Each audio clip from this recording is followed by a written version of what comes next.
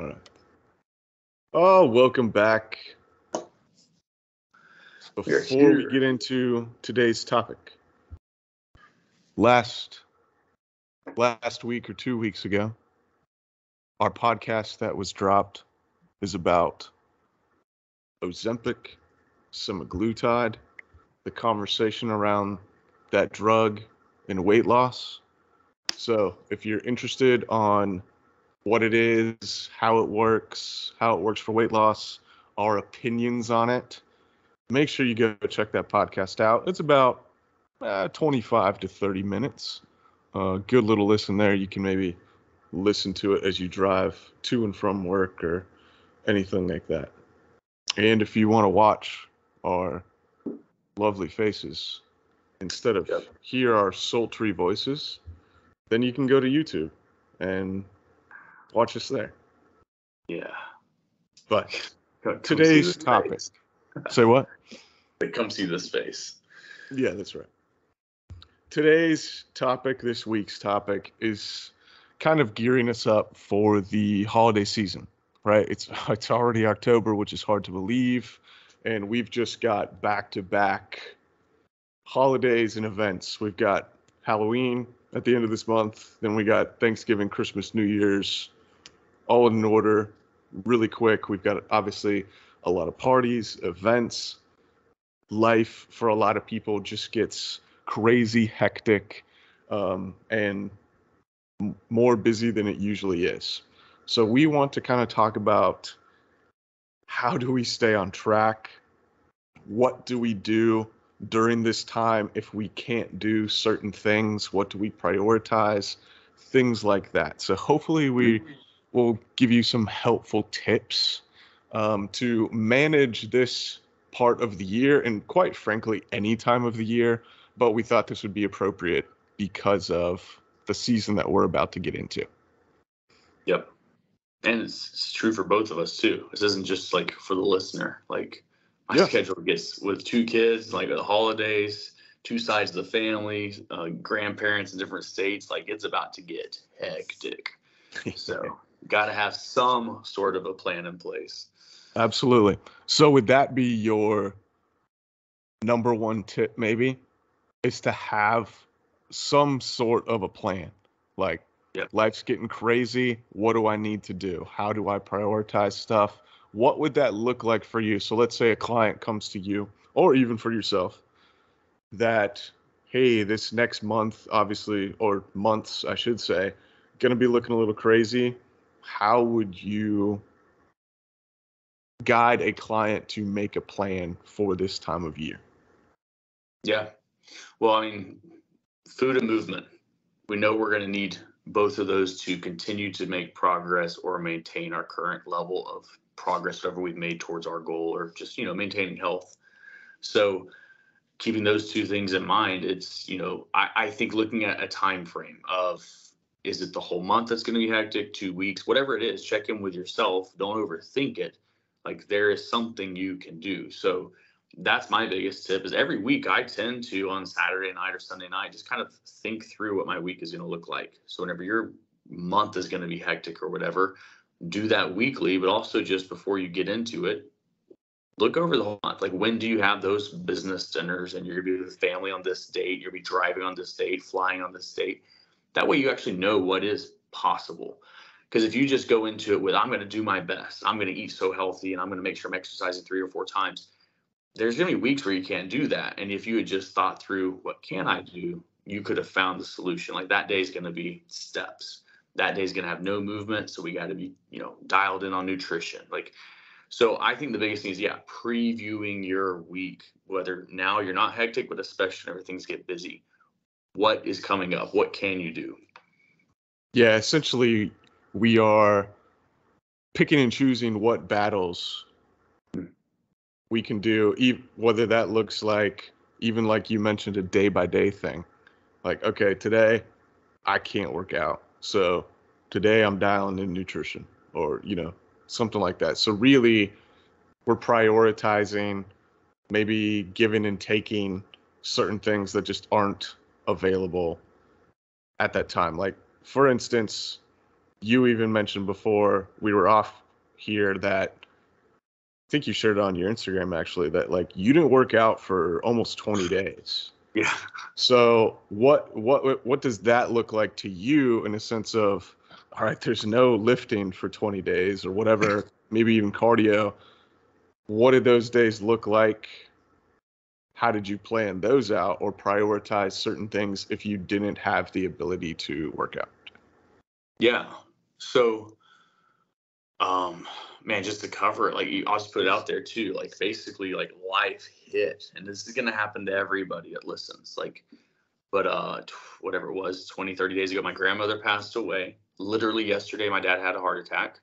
Um, and we would not be recording if he wasn't good and stable. So just know if you're listening to this, he's okay. Um, you know, got got a few different procedures. He's going to be all right. Um, I I broke out in like a random full body rash, like some autoimmune thing, possibly. Like uh, got possibly COVID in the middle of it, or at least some other sickness, all in 20 or 30 days. Worst ish 30 days of my life so far, I think. So that's going to happen.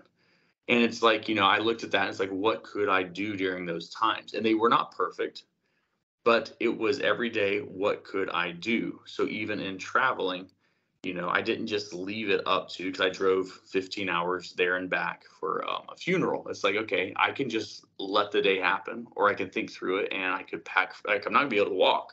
I can pack fruit. I can gauge my stops, knowing that I can stop and get a Chick Fil A Cobb salad and not a Culver's, you know, butter burger and a malt. Like, Bummer. yeah, I know those are good. That's, that's good food. But it's like there's always a uh, there's always an option and so you just got to figure out for that short bit of time, instead of shutting down and just letting the day happen and you just slipping through it and then feeling worse on the other side, if you will just make a few choices and you take control of the day, you're going to feel so much better. You're not going to lose your progress. Like even me not working out over 20 days, not lifting for over 20 days. I can I still got back to my workouts. I'm still strong. You're not going to lose muscle overnight. But just being conscious and making decisions every single day to push your health forward or at least maintain, I think are key. So for me, the big things I focused on was it was steps in nutrition because that was really all I could do. And it wasn't like I was eating salad every single day. Um, you know, some of my food was determined by family members and stuff I was staying with.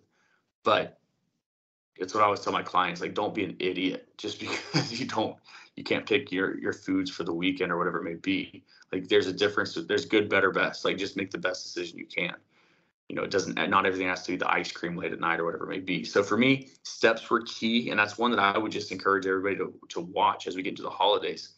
You may not have time to drive to the gym, do the hour workout, drive back, but you probably will have time to do a lap around the neighborhood. And the steps have saved me. Um, you know, we, we talked about this too. Like, I'm I've I've lost a good amount of weight over the course of the year, and it's been mostly I would give it credit to steps and nutrition. It's not been because I'm just lifting Absolutely. crazy.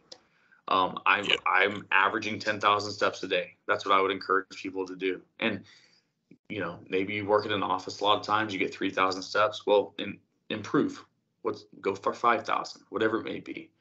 But you know, not to get off topic, but yeah, I would say during that time that I was away or off, it was like focus on nutrition to the best of my ability and know what that's going to look like for you. Like it's easy for me to say focus on your nutrition, but what does that look like for you?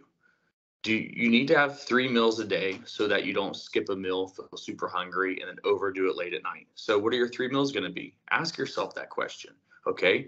Your three meals should probably have protein in them how are you going to get that protein? And this is really basic, but a lot of us just accidentally slip through our day. And, you know, that's where we see, oh, I skipped breakfast to save some calories. Oh, I had a salad for lunch that had no protein. And at lunch or at supper, you're starving and you go crazy in the drive through. Ask yourself, what are your three meals going to look like? Where's your protein coming from for, for that day? Can you get a piece of fruit? Can you eat some vegetables? And you can just slowly, if you ask yourself those questions, you're going to be able to answer them and say, yes, I can do this. If I plan, I can make this available for myself. That's going to keep you moving forward. So yeah, as you navigate the holidays, I think it's just a constant question and answer for yourself and kind of surveying your week. What can you do? Yeah, and even if you can't, like in your case, a lot of this stuff popped up mm-hmm. out of the blue. So it wasn't like you could look ahead and predict these things. A lot of it was on the fly. So in that case, instead of looking at it as a, you know, week by week thing, you had to adjust day by day. And I like a point that you made in there is that you you basically took ownership of it. You decided to do these th- certain things. And I think that is where some people maybe not necessarily make the mistake, but instead of just kind of leaving it up to chance, as it were, or being surprised that such and such happened, or, you know, I had a dinner party and I went to it and I just drank and ate so much food. I just wasn't expecting that. It's like, well, maybe, excuse me, if you know that you're going to have that dinner party or whatever, take ownership of the fact of and make a choice. I'm only going to have maybe one drink or X amount of desserts or, you know, something like that. You need to consciously make that choice instead of just freely going into it. Just, I'm, uh, I'm going to wing it, as it were yeah. right? Without the plan, or at least without making a conscious choice of what you're going to prioritize, if indeed you want to at least maintain the progress during this season, right? I've got a client who's traveling, excuse me, next week. He's not lifting for two weeks. Obviously, he's going to Italy. You're going to enjoy some amazing food. You you can't go and be like, I'm not going to have this type of food. But one thing he is definitely focused on is steps. And yep. you mentioned that the steps, if anything, are a lifesaver for most people in the the journey of maintenance and being able to maintain during a season. So it's just making those conscious choices of what can I do? And if it isn't I just can't get 10,000 steps because of my job, okay. Maybe get five or seven thousand steps, whatever that looks like for you. You know, put it into perspective of what you are capable to do, capable of doing with your life and lifestyle. Mm-hmm. And I, I like that point too of take, like you said, taking control of your day doesn't mean that in those scenarios, whether it's the parties or the holidays, whatever, that you can't have the things. It's set the limit for yourself of hey, they're every you know it's everybody's serving brownies tonight or whatever the thing is, mimosas, you know, something like. So set your boundary. Don't don't make it zero, but yeah. make it two, two of the thing, whatever it is. Like you can still participate, but just little boundaries are going to be a lifesaver during this season because it's never the like the one M&M cookie or whatever my mom bakes, you know, 20 dozen cookies every time we go over there in the holidays. It's never the one that gets me into trouble or the two it's whenever you like just sit there and eat three before supper, one after supper, you have one more on the way out the door. Like just set the boundaries. That yeah. way you still get to participate in the fun, but you still also don't lose your health like with it for the next three months and then land on January 1st with, dang, I got 10 more pounds to lose and I feel terrible. Yeah. Yeah. Talk I want you to talk a little bit. I love this concept. And I think you brought it up on Instagram, uh, maybe like a week or two ago talking about essentially how to manage different phases of progress. You call them walks and sprints. Yep. Go over that and kind of how we can apply that and what the sprints are, what the walks are, and what they look like. Yeah. So th- this has been huge for my clients too, because I work with a lot of parents. But I think for anybody, I mean, we're all busy and heading into the season, you're going to be busy. But like walks and sprints for me, whenever I kind of frame that for my clients, it's we're always in one of those two phases where with your nutrition, your workouts, basically your health and how you're improving it, you're either able to sprint and do all of the things, like whenever we are able to actually be at home and weigh our foods, drive to the gym, get our steps in, get our sleep, everything is under our control. That's a time whenever we can sprint and we can make a lot of progress on our health. And we need to take advantage of those times because eventually a walk week or maybe a walk month is coming so. where yeah, where you're in somebody else's house or you're traveling, you get sick off and on. And that's the time where you sit back and you observe what can I do that will continue to move me forward or just maintain my progress.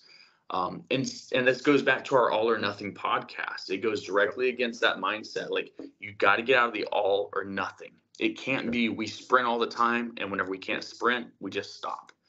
Mm. It's you just dial it back a little bit. What's attainable in that week? So yeah, that's been huge even for me. Like I shared this. I weighed, um, just to be honest, 223 pounds, like massive and pale. January 1st of this last year. Um, and I've just slowly used this for myself. Of, I bet you if you averaged out the whole year, maybe there's two weeks a month where I've been able to sprint, and two weeks where it's a walk. You know, mm-hmm. just doing the best I can. Yep. And I'm down from 223. I weighed in at 191 this morning. I'll probably be in the 80s here in the next couple of days. Good sprint, couple of weeks. Um, that's huge. Like I could see 35, 40 pounds of weight loss as long as I continue doing this. Like it's it's it gets you away from that all or nothing because whenever you are in that all or nothing, like I've got to sprint. Whenever you stop, you always feel like you screwed it up. And it comes with like this little bout of I don't want to use the yep. word depression like lightly, but you do beat yourself up. You do get a little bit ashamed of how did I let that week get away? How did all of September get away from me? So using the walks and sprints, I would encourage you to do that and label your weeks or your days like mentally. You don't have to tell anybody else you're doing this, but you can just look at it and say, you know what? This is a sprint week. Like I'm going to do my best. And hey, if you only get to sprint to Friday, that's great. Then turn on the walk, do your yep. best. Yeah, I love that. Yeah. And I mean, just given your example here with the weight loss and using both of those methods, that's been over the span of what is this, 10 months now? Yeah. Yeah. Yeah. Yeah. 10 months, like a whole year. Most people want to hammer that sprint down for 30, 60, 90 days. Then they go off the rails and completely stop for X amount of time and then go back to the sprint, you know, the back and forth, or it's just completely off the rails and it's just yep. stopped altogether. And then the next year rolls around and they're like, oh, I need to sprint again. And we've talked about this in the past the sprints are great, obviously, when we can just dial and check every box off. But the walk keeps the momentum going of our habits and the lifestyle. It's not completely stopping. Oh, I can't work out today or I can't work out this week. Therefore, the rest of the boxes are not going to be checked. We've always talked about on this podcast how important momentum is in your he- in your health, in your life, so those walk weeks are keeping that momentum going. It's a slower pace, but you know, as cheesy as you know, we always use the example of this is a marathon. We're picking up the pace some weeks and we're slowing down the, the pace the other weeks in order to complete the full race. So I love I love that example. It's such a great such a great thing that people can visualize and I, I think associate with uh, pretty easily. Yeah. It's funny because like in real life I don't sprint at all, but but I but I understand the analogy. Yeah, yeah. I got to start running again, but yeah, yeah. walks and sprints, man. It's it's just helped so much this year, and and also like think about that too. Like how great would it be to apply that concept? Like for me, I could end up on January first of this coming year, um, I don't know. I could be like easily in the 180s, low 180s. It's like January. Like how many of you out there have consistently lost weight throughout the year? So January to January, you were 30 or 40 pounds lighter. Rarely happens. Typically, we lose 20ish pounds trying to get into the summer, and then you just slowly gain it all back. Yeah. So applying this concept, it's it'll help you keep, like you said, the momentum, the habits. Like mm-hmm and that helps everything down to that next workout's not so punishing. You're not going to be as sore. Like that's a very small aspect of it, but it's even going to help with that. Like you're just going to keep that momentum going where you just get back into the activity, get back to measuring your foods whenever you're ready. Yeah. And, and even, especially during this holiday season coming up, let's say just an, as an average, most months are walk weeks as opposed to sprint weeks. That is a massive win for you to be able to maintain through this time period into the new year instead of like we've said completely falling off the rails or trying to sprint fall off sprint fall off. And then we come to January 1st or the beginning of the new year and you're a little disappointed in yourself because maybe you've gained weight back or you know whatever that scenario looks like for you. So during the holiday season to be able to turn every week into a walk is not a loss. That is a massive win during this period. This isn't, you know, we don't have to sprint every month. Mm-hmm. And to be able to maintain, which I think people just have a hard time wrapping their head around. Like they're not making progress if, you know, weight loss isn't happening or, you know, whatever. But just being able to maintain it, that is progress both physically and mentally, especially. So don't be afraid during this period of time. If, if every month is a walk, every week in a month is a walk, that is a massive win. Yep. And like you said, if even if it's just one day that you have the opportunity to sprint or a few days out of the week, that is totally cool. But don't be afraid to slow the pace down, if you will, in this marathon to get to the new year and not having to take steps backwards and then yep. essentially start over or you know revamp your journey again. Yeah. That's the other so like the next suggestion i would make too is be brutally honest with yourself when navigating these next two to three months. And by that i mean Thanksgiving is a day, and maybe you go see family and it's four days or six days. Like Halloween is a night for most of us. that those don't really throw you off that much. But whenever you look at Halloween as ah, I ate a bunch of candy, or I'm going to eat candy, or I'm going to go to the party, so that week is just kind of shot that's what gets you into trouble during this season is whenever you start stamping out entire weeks because there's a holiday in there. Because if you do that you'll lose the week of halloween the week of thanksgiving the week of christmas the week of new year's. You're taking a month that you say well because i screwed it up i'm not going to do a whole lot. Be brutally honest with yourself. Thanksgiving typically even if you're with family the actual heavy foods are a day. Enjoy it. Go all in. You can control the other days in some yeah. fashion. Like we said, it's a walk. Halloween is a night or a day or a party for most of us. It's not the week. So six days out of seven, you can still own the week and you can still own October. But people start to give up whenever they see the social events start getting booked and they don't, for whatever reason, you don't have the ability to think through yes, I'm going to the party tonight. They're serving alcohol, they're serving tapas or you know appetizers. Okay, great. You can still participate in that. It's a day or a night. Everything yep. around that can be on track, and that's going to move you forward. So that's the other tip I have is like be brutally honest of what these events are that are coming up and what can you do. Hold yourself to some standard.